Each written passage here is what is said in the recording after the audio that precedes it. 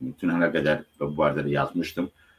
Gömrük Komitəsinin saytında baxmayaraq ki, onlar bildiyiniz kimi ən ən gecə iyulun 1-də həbs olunublar və əvvəlkilər isə iyulun 10-da həbs olunublar, amma DTX açıqlamanı iyulun 15-də verdi və bu onu da göstərir ki, xüsusilə də Məsumov Məsum Rəsulovun həbsi ilə bağlı məsələ ciddi siyasi müzakirələrdən sonra açıqlanıbdı. Gömrük Xidməti general-mayorunun həbsi siyasi həbsdir.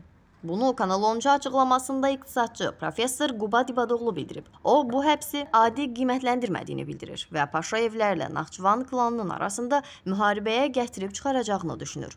Ətraflı müsahibin öz dilindən dinləyək. Heç kəsə sir deyil ki, gömrükdə korrupsiya indiki halda kifayət qədər genişdir, amma ən yüksək səviyyədə var. Yəni ki, aşağı səviyyələrdə azalsa da, amma yüksək səviyyələrdə qalır və bu şəxslər də yüksək səviyyələrdə gömrükdə vəzifə tutan şəxslərdən biridir. Xüsusilə də nəzərə alsaq ki, demək gömrükdə general mayor rütbəsində olan demək Rəsulov Məsum həm də gömrük Dövlət Gömrük Komitəsinin əməliyyat istintaq baş idarəsinin rəisi olubdur.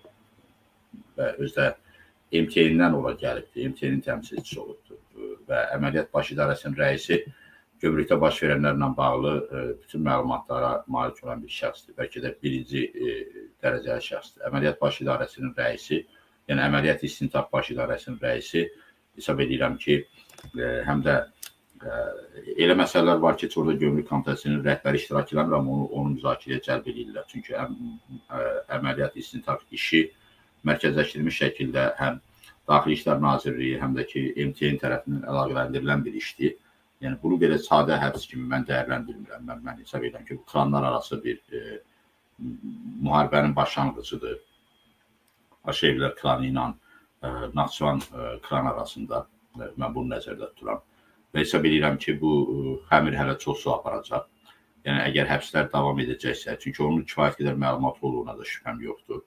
Gömrükdə baş verənləri ən yaxşı halda əməliyyat istintaq baş idarəsinin rəisi bilir, çünki bütün məlumatlar onda toplanır. Bütün korrupsiya, pul yığımları, eyni zamanda şikayətlər, qanunsuz əməliyyatlar, kontrabanda, hamısı hamısı hamısı barəsində onda məlumatlar var.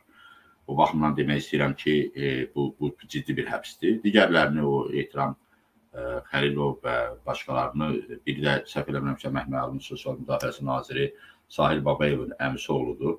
Həbs olunanlardan biri də odur.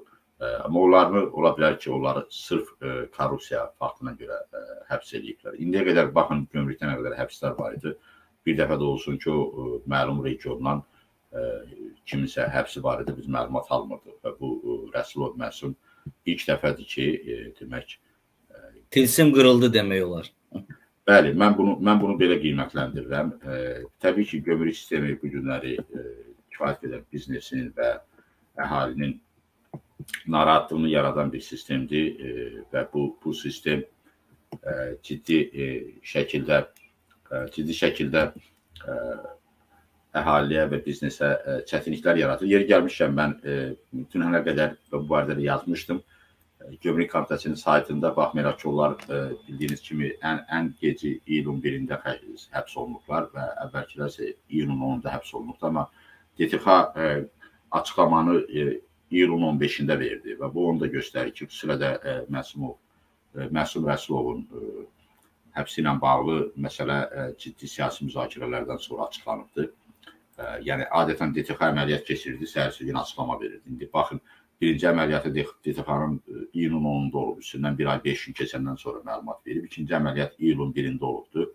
və onun da üzərindən 15 gün keçəndən sonra məlumat verib. Və dünənə qədər həm Ehtiram Xəlilovun, həm də ki Rəsulov Məsumun ə, deməli Gömrük Komitəsinin aparatının strukturunda profilləri qalırdı.